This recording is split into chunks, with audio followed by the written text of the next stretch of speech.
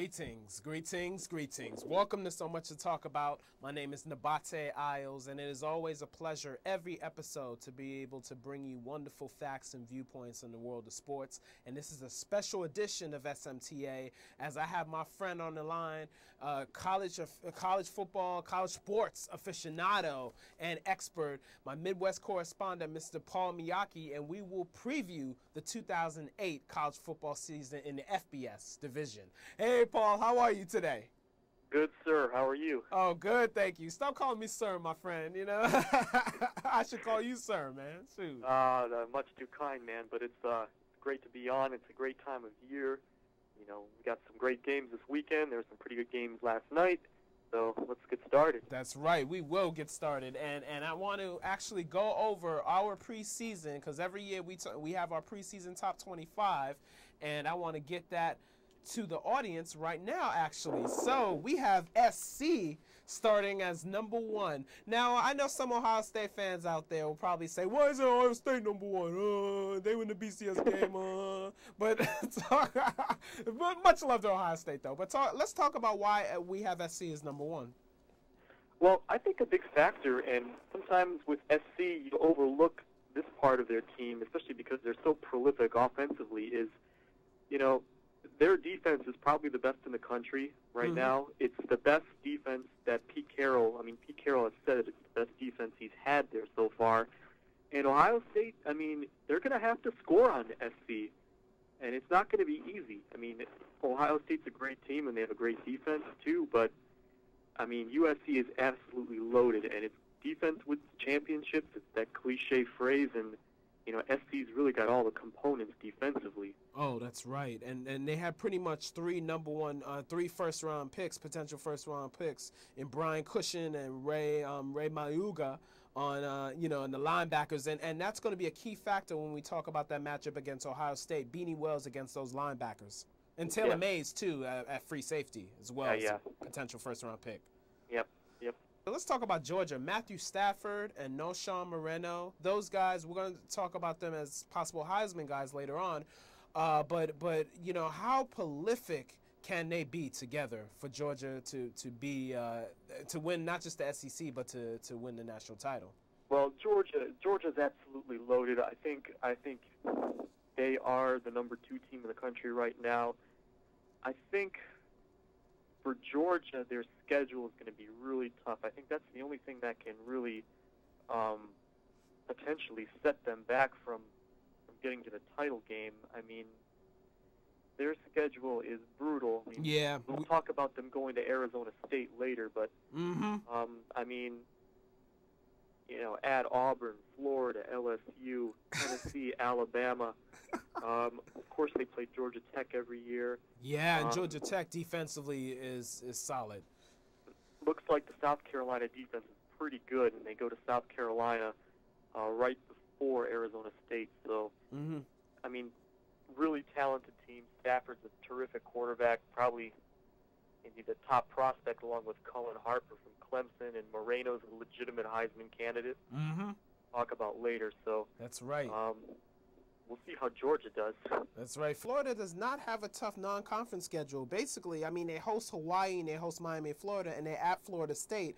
I mean, basically, their their tough games are within conference, so they can um, they could possibly win that SEC East over Georgia. Yeah, they could. The schedule gods were kind to them this year. Um, Florida, of course, we know about Tebow. They are just. Uh, I, I like Florida this year. I think I think they're underrated defensively. Um, Brandon Spikes in the middle, middle yep. linebacker. Mm-hmm. Yep. So we'll see how Florida does. Another thing with Florida is like their their their matchup with Florida State isn't going to be as tough as in previous years. Yeah. So it isn't. It helps them but it'll be it'll be interesting though. That that could be that would be Bobby Bowden's last game coaching Florida State. It will be very interesting. yeah. in Doak Campbell, you know? Yeah, and of course the world's greatest cocktail party is going to be a big game. Georgia That's right. Jacksonville. That's right, for sure. I think you and I need to get credentials for that. Uh, we should. We should try to do that one time. Definitely. And uh, I gotta say, Oklahoma, Missouri, back to back. Both these two teams are, you know, I mean, Oklahoma perennial Big 12 powerhouses. Missouri, this is the first season that they're starting in the top 10 in God knows how long. So, um, I mean, can I mean, and they have a tough schedule, Mizzou. They they open against Illinois. That's a really intriguing matchup. You got two uh, two really prolific quarterbacks, both you know have some Heisman billing, uh, Juice Williams and Chase Daniel. It's going to be a really great matchup. First, that's one of the best early season matchups you'll find. Mm-hmm. Absolutely, no question about that. LSU's defense. I mean, they are they have three potential first round picks themselves as well. Ricky Jean Francois, Darry Beckwith, and Tyson Jackson are potential first round picks. All three of those yeah. guys. Yeah, I mean they're they're they're sort of like USC, how they they can just reload and bring bring guys in to fill what would be just glaring holes for a lot of programs. I mean Les Miles does a great job in the recruiting. Mm-hmm. Rounding out the top 10, we have Clemson, West Virginia, Texas. I mean, you know, Texas people are sleeping on Texas. Colt McCoy, he's only a junior, and he definitely learned a lot last year from his struggles with injuries and inconsistency. I think Texas definitely can make a run. And they, they host Missouri. They play Oklahoma once again in the Red River Shootout. You know, so they have a favorable schedule to help them get back to the top. Yeah, Texas Texas should not be overlooked. They they, have just too much talent on both sides of the ball. McCoy McCoy is going to be really good this year, I think. And like you said, their their schedule does favor them. Mhm. Absolutely, and and then round and then for between 11 and 15, we got so much to talk about. So we're gonna run through a little bit. Between 11 and 15, we have Illinois, Kansas, Texas Tech, Tennessee, Auburn. Now Texas Tech, Graham Harrell that he's putting up prolific passing numbers. I mean, over 5,700 yards last year for him. He he really is. He's got a great guy to throw the ball to in Crabtree. You know, you and I were t- just talking about how it's just it's amazing how Texas Tech can just got, put guys in there time and time again, year in year. You know, again, just putting guys in who can just light up the scoreboard. It's amazing how they could, you know, find guys to fit that system.